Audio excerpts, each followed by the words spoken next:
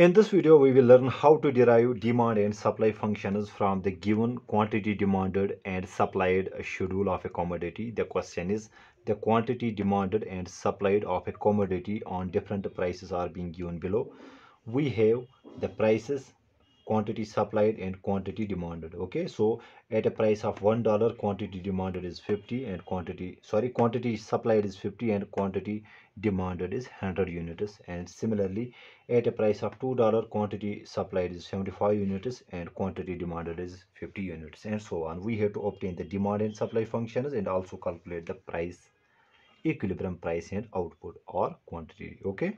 So first thing is first what we need to find out we will first derive the demand function. So the demand function looks the general form of demand function looks like this. Q is equal to a plus bp and this b is negative okay? So this b is negative. So this is our general demand function. We need to find out uh, this very demand function okay? What will be the value of uh, you know a and b in this demand schedule okay? So first thing is first we need to find out this b. This b denotes the slope or what we call the inverse of slope in economics okay? So actually slope is actually a rise our run rise our run. That means if we have this kind of graph so slope is simply the vertical distance upon horizontal distance. But since we are taking uh, you know quantity on this side and price on this side so slope denotes our this change in quantity and that is and this change in quantity upon change in price. Okay so we don't have this rise our run we have run our rise here. Okay so let's be clear with that. So let's uh, write it as slope. So slope which is b is simply equal to change in quantity upon change in price okay? So we are taking to find the change in quantity demanded and change in price we take any two uh, you know price schedules and quantity schedules okay? So simple thing we need to find out change in quantity. You can see here let me write it here. Change in quantity uh, you know the quantity demanded demanded has changed from 100 units to 50 units. So the change is 50 minus 100 which comes out to be minus 50 and corresponding to this price has changed from 1 to 2 so change in prices so we have reached two dollars minus one dollar. That is change in price is one. That means change in quantity is minus 50 upon change in price is 1 so we get minus 50 as the value of b. Okay? Now what we need to do we just need to find out the value of a. Okay? So to find the value of a simply plug any of the price and quantity demanded pointers from the table okay? So to find the value of this we simply plug any price and quantity demanded in this equation. So our uh, equation has uh, become that is uh, q is equal to a. So in place of b we have minus 50 p. Now to find to find the value of a just plug any uh, price and uh, you know quantity uh, you know set here. So let's take this and or let us take this uh, price of 2 and quantity demanded just plug these two values here you will get the value of a. That means so in place of q we will write 50 so we have 50 is equal to a minus 50 and corresponding to 50 we have a price of 2 so let's write it here 2 that gives us the value of a. So let me write it here. So I can write it here. So a will be equal to so this comes out to be 100 okay. So transposing here it will become plus 100 so we have 50 plus 100 which comes out to be 150 okay. Then our demand function will look like this so our uh, demand function is q is equal to a the value of a we got 150 minus b which is 50 and we have p. This is our quantity demanded. Now to find the supply schedule okay? So this was how to derive the demand function. Uh, to derive the supply function. So how what is the general uh, you know equation for the supply function? So supply function is being denoted by let us say c plus dp this c is called the quantity intercept okay? And d is actually the slope or uh, you know uh, simply uh, what we call this inverse of slope because we take uh, quantity on the horizontal axis. So if this is our supply function let us try to find out the slope first. Slope is simply equal to change in quantity supplied upon change in price. Okay? Now let's take any two you know rows here uh, to get the change in quantity. Let's take the first two. So change in quantity is change in quantity is equal to so uh, quantity has changed from uh, 50 to 75 that means 75 minus 50 which comes out to be 25 and corresponding to this what is change in price? That is del p. This is simply from uh, 1 to 2 so change is 2 minus 1 which comes out to be 1 so slope which is being denoted by d here is equal to uh, del q upon del p. So del q comes out to be 25 this is p. So we have positive slope here. Okay? So what will be our uh, demand supply function then? So supply function will be equal to c plus uh, 25d now what we sorry 25 p. Now we need to find out the value of c. To find the value of c plug any of the price and quantity supplied in this equation okay? So any two points okay? So let's take any price here. Any price and quantity supplied here. So we have a um, let's take uh, this 75 so we have 75 is equal to c plus 25 so corresponding to this we have a price of 2 here.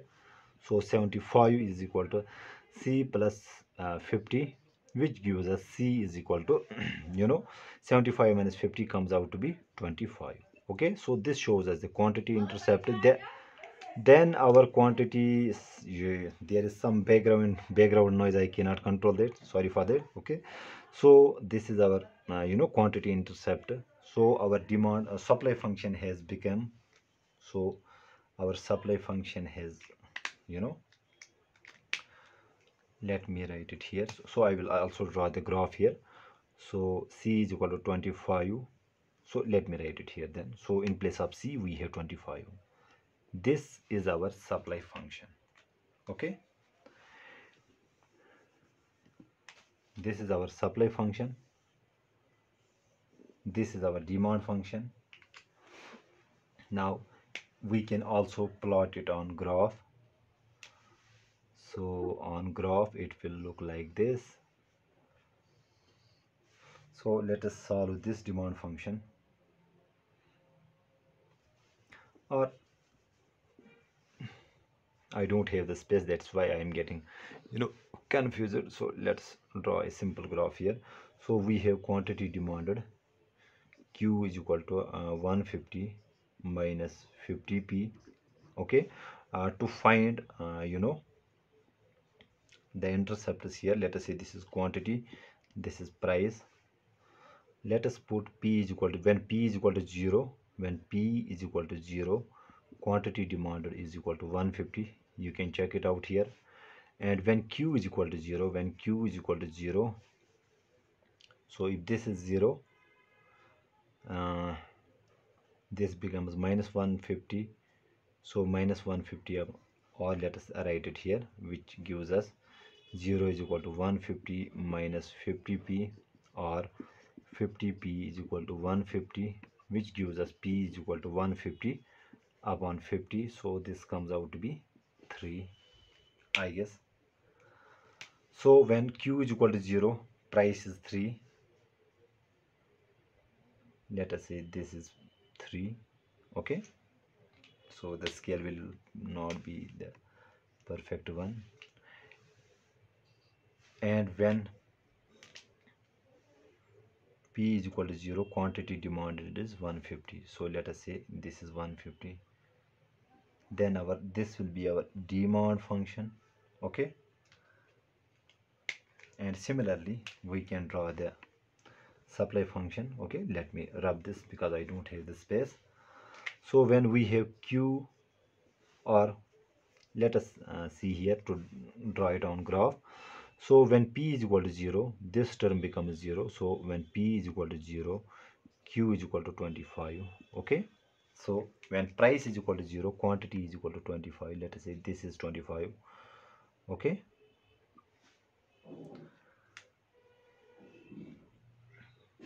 So the intercept of and we can also okay when p is equal to 0 q is equal to 25 okay? When q is equal to 0 what happens? When q is equal to 0 so we have then 25 plus 25p is equal to 0 or uh, 25p is equal to minus 25 or p is equal to minus 25 upon 25 so p is equal to minus 1 okay so if i can draw it then in another quadrant. So when p when quantity sorry what we have here when q is equal to 0 when q is equal to 0 p is equal to minus 1 let us say this is minus 1 okay minus 1 then our supply function will look like this okay. This is our supply function. So it is not you know perfect to the scale but it will look like this. So i just uh, you know explain how to derive the demand and supply function and also how to graph it okay? This was not the part of the question but still i try to figure this out. Now we are being told to find the equilibrium price and output. So equilibrium occurs where demand and supply intersect each other. This is our demand function. So when let us denote it by qd and this by qs so at equilibrium at equilibrium quantity demanded is equal to quantity supplied. Quantity demanded is this 150 minus 50p and quantity supplied is 25 plus 25p so solving for p here we have 150 minus 150 minus 25 this is 125 is equal to uh, you know 25 plus uh, 50p so this is 75p or p is equal to 125 upon 75 okay so this will come out to be and this is 25 5s are sorry 25 3s are this is 25 5s are. So this will be our price equilibrium price. So p is equal to 5 upon 3 you can check it out now corresponding to this P is equal to 5 upon 3, what will be quantity demanded? Just plug P is equal to this either in quantity demanded function or in quantity supplied function. Okay, let's plug uh, this value in this. Okay, so corresponding to this Q will be equal to, we have 25 here plus uh, 25 into the value of P is 5 upon 3.